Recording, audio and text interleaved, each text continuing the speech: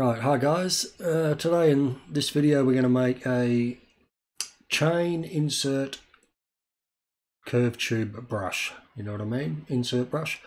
Alright, so to start off with, we'll come over to our Ring 3D option in the uh, tool mention section.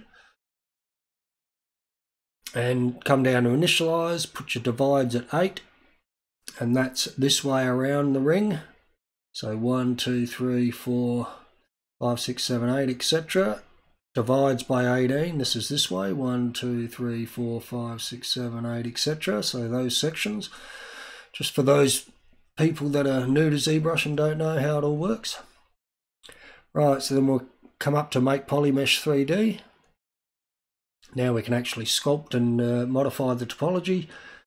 So first thing we want to do is we want to turn this into a chain link. So we're going to hold control and mask down halfway into the middle link. This middle link here. And then we'll just shrink it down a bit, go to the move, get our gizmo and just pull it down. That way, because we went to the middle, it leaves eight uh, sections at the top and eight sections at the bottom. All right, want to come and uh, unclear the mask, go to unmask mesh center. And now we want to go to our Z model brush which is BZM for Z modeler. I've got mine down here obviously. Right so we want to hold spacebar and go insert not single edge loop. And I'll show you why because if you just tap it there and then tap it there you might not get them even. So to get them even or you can actually slide on the just the normal insert. To get them even, you want multiple edge loops, and that will, when you tap it, put it dead in the center. Tap it, put it dead in the center. We want to do that to here and just divide it up a bit. Right. Control W, make that one whole polygroup. There's our first link. Now we can either make a basic chain like that, or we can do some modifications to the link. So what we'll do is we'll just duplicate that link now and uh, just use the first one. Sorry, I'm getting a bit of a cold, so I apologise for any sniffing. Right, so we're going to hold uh, control and duplicate our link. Drag it up to about so. Hold shift, which will turn it in increments to 90 degrees. Got to go five more degrees. There we go. Right, so that's going to be our middle link. We'll just drag that up a bit more to about there. You want to have a little bit of a gap so they're not touching. Right, so what we'll do now is clear the uh, masking. Group visible, make sure they are one poly group again. And now we're going to uh, add some little start and end links. So to do that, we'll go insert and we'll go or just a ring 3D. That inserted a ring. So now what we want to do is go back to our first one and go merge down, which is under merge, merge down. I normally use a hotkey for that, but anyway. Right, and then we shall stay in draw mode, tap that one, mask it, that'll isolate it, holding control and shift, hold control and shift, tap to bring them all back, hold control and, sorry, tap to invert the mask, go to move, and we'll just move that link up into position, which is uh, about there. Right, and then um, we'll hold control and duplicate it and bring it down to the bottom. We'll spin it 90 degrees. Make sure it's positioned nicely, about so. So you want to have one vertical and then a horizontal vertical and a horizontal. So as long as these two are different, they'll link together. These ones won't because they're the end ones. So you want basically the middle ones horizontal and vertical. So the next one obviously is horizontal to link into here because these links in the middle are going to be in the middle of the span and these are just going to be on the end, one on one end, one on the other end. Right, so control, mask, clear your mask. Now, when creating your insert mesh brush, you go get your floor out, go to Z forward, which is this way. Oops, this way, sorry. So blue line, Z forward. What we want to do is go to Unmask Mesh Center. That'll put it in the center.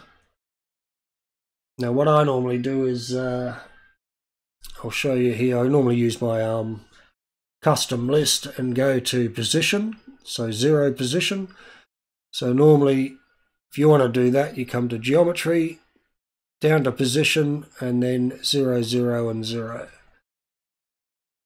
depending on what you want.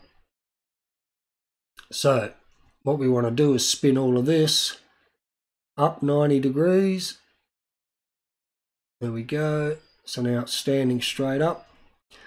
So the camera is going to look at it straight ahead and pull it out in a curve. So when you drag your curve from left to right, it's going to drag out in that format. So we'll um, go create insert mesh. We'll go new. That's created our brush up here. But we want it as a curve. So if we just drag it out here, it's just going to drag one out. So we want to go to stroke curve. So curve, curve mode. And the red circle around your um, brush icon, you want to hold spacebar, increase your size, let go of spacebar, and then just draw out a curve. And there you have it. There's your start link, your chain in the middle. No, that didn't go right either. Why did that happen?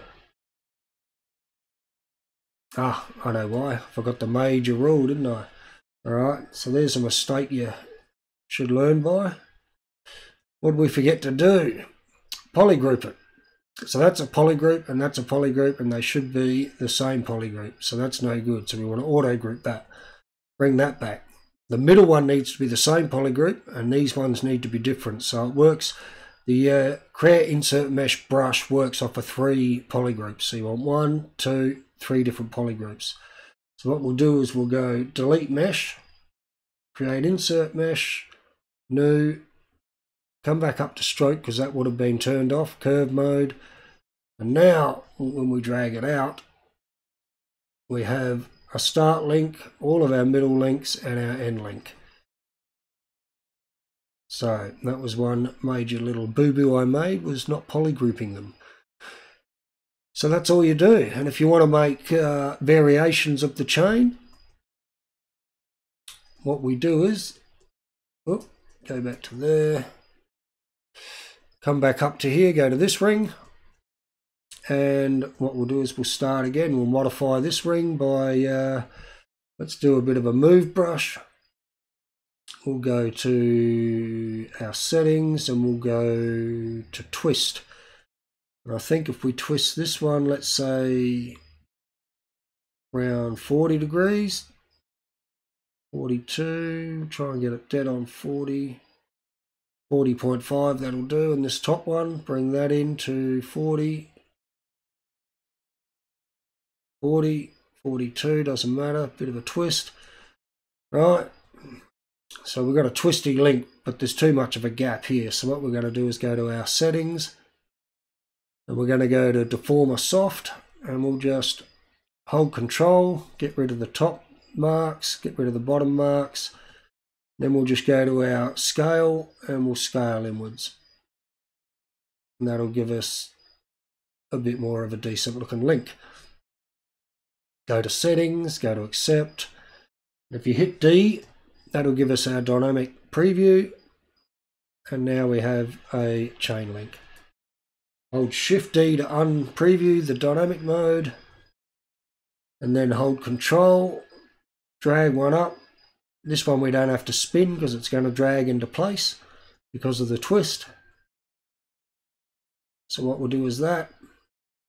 And then we'll hold Control again and drag again.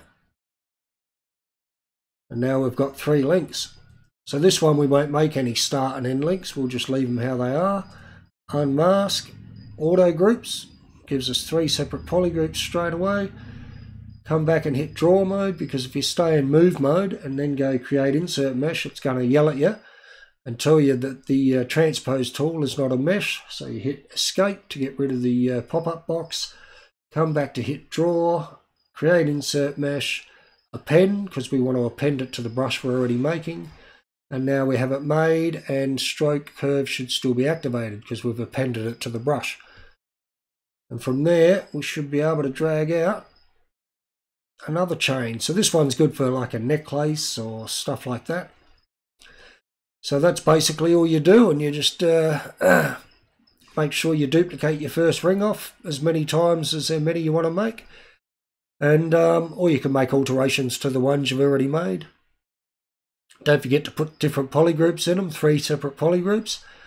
And uh, create insert mesh, append, and away you go. All right, thank you very much. Um, Hope you enjoyed watching this video and please like and subscribe to my channel so I can make more ZBrush videos and help out the community. Thank you. Bye.